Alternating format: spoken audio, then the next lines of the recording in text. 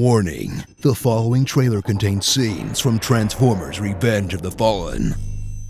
From the director most likely to masturbate to an explosion comes two hours of moving pictures and loud noises that, because it was filmed on a camera, technically qualifies as a movie. Transformers Revenge of the Fallen. Strap in for a film that somehow managed to be much, much worse than the original, with more racism, What are we gonna do with this shrimp Let taco? me just Bubba Cap in his ass, throw him in the truck, and then nobody gonna know nothing of me. more product placement, and way more than you care to know about Transformer anatomy. I am directly below the enemy scrotum. Assemble for a filmmaking effort so lazy, Michael Bay reuses shots from the first Transformers and shots you literally just saw earlier in the movie. Soundwave acknowledges. Pursue her. Decepticons, mobilize. It is time. Come on, man. In a universe full of awesome transforming robot characters, prepare to get not excited as they focus on the same boring humans from the first movie. There's Sam Witwicky, who's graduated from stuttering to derp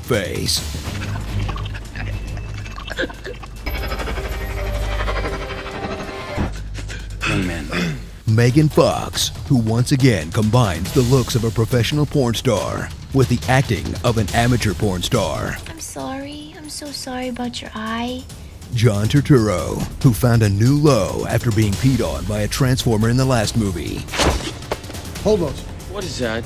Those two army guys, and Sam's parents. Because if there's one thing fans never ask for, it's more time with Sam's parents. Hey, Professor, I'd do anything for an A. All right, Grace Slick, we got some snacks in the car. Let's go. Oh I'm upside down. Ride once again with a whole team of interchangeable Autobots as they face off against a team of even more interchangeable Decepticons in a series of battles that look like two junkyards having sex with each other.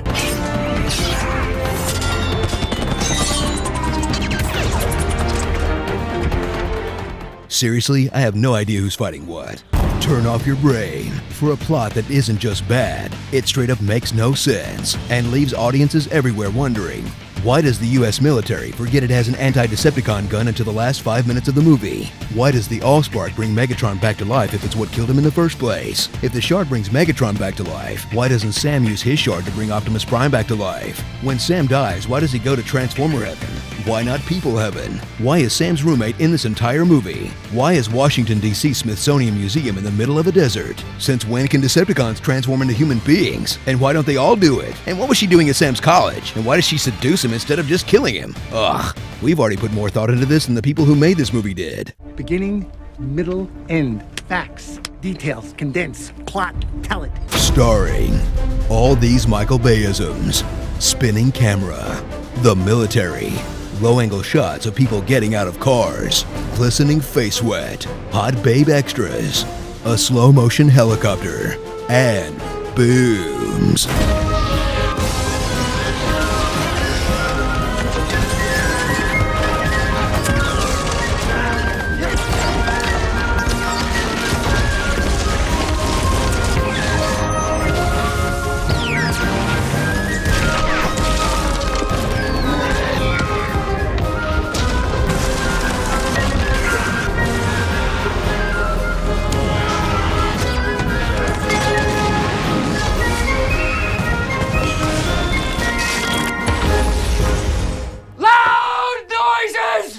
Transformers Revenge of the Fallen.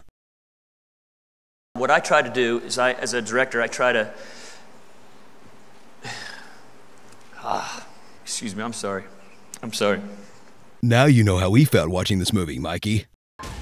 My name is Optimus Prime, and I send this message to all of humanity.